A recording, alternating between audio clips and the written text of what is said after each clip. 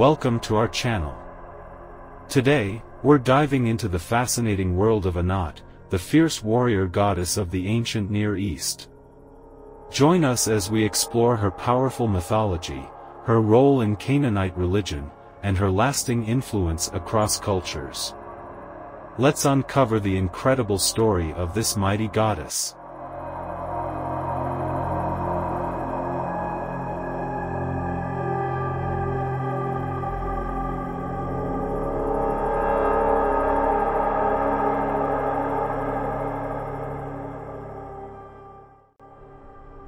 Anat is one of the most significant deities in the ancient Near Eastern mythologies, particularly within the pantheons of the Canaanites, Phoenicians, and Ugaritic cultures. She is often depicted as a goddess of war, love, and fertility, a rare combination of traits that made her both feared and revered in the ancient world.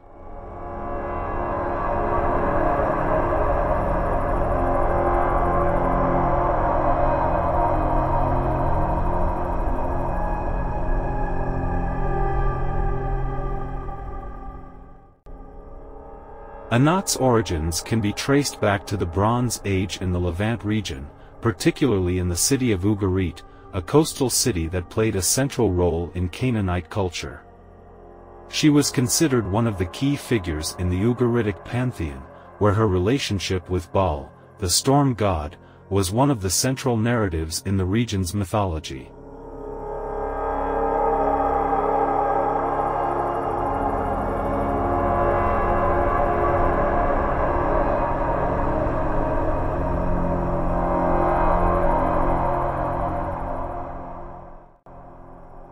In the Ugaritic texts, which are among the primary sources of Anat's myths, she is described as a fierce warrior and a protector of her people. One of her most famous exploits involves assisting Baal in his battle against Yam, the god of the sea, and Mot, the god of death. Her aggressive and unstoppable nature in battle earned her the title of the Virgin Warrior, symbolizing her untamed and independent spirit.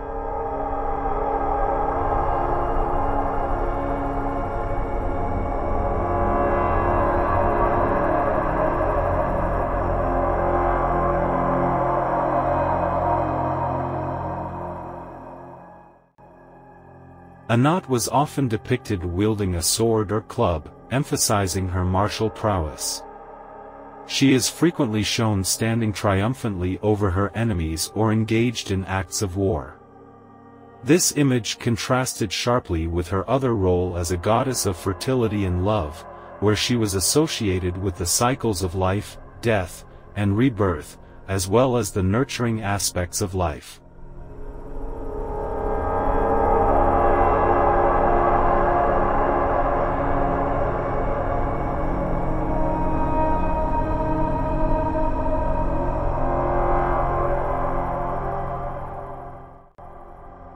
Anat was often depicted wielding a sword or club, emphasizing her martial prowess.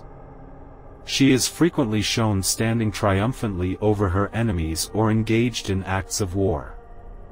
This image contrasted sharply with her other role as a goddess of fertility and love, where she was associated with the cycles of life, death, and rebirth, as well as the nurturing aspects of life.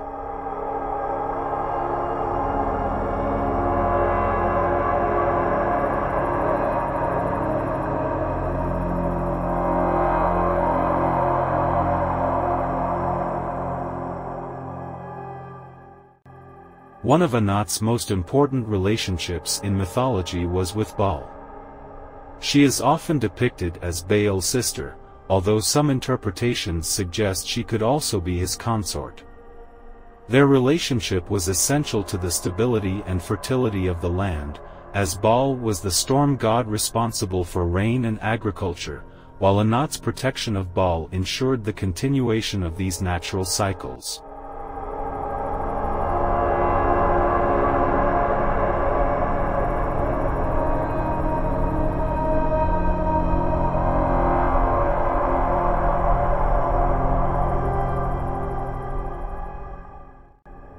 One of Anat's most important relationships in mythology was with Baal. She is often depicted as Baal's sister, although some interpretations suggest she could also be his consort. Their relationship was essential to the stability and fertility of the land, as Baal was the storm god responsible for rain and agriculture, while Anat's protection of Baal ensured the continuation of these natural cycles.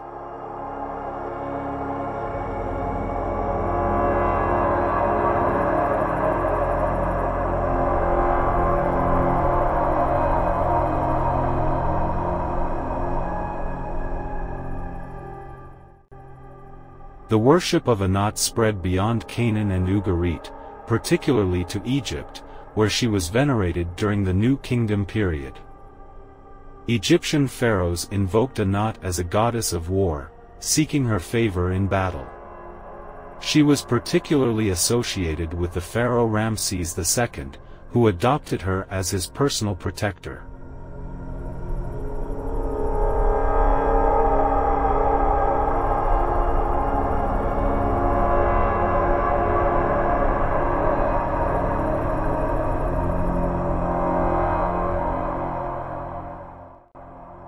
The worship of Anat spread beyond Canaan and Ugarit, particularly to Egypt, where she was venerated during the New Kingdom period. Egyptian pharaohs invoked Anat as a goddess of war, seeking her favor in battle. She was particularly associated with the pharaoh Ramses II, who adopted her as his personal protector.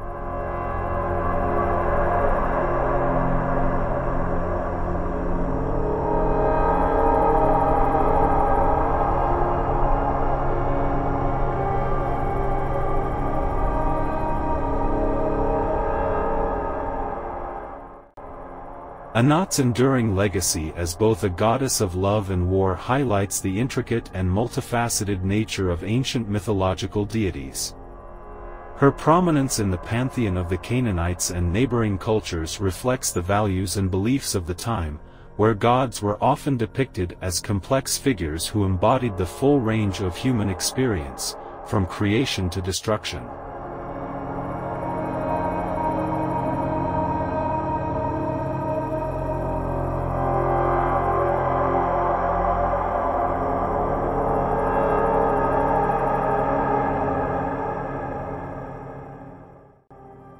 Thanks for watching.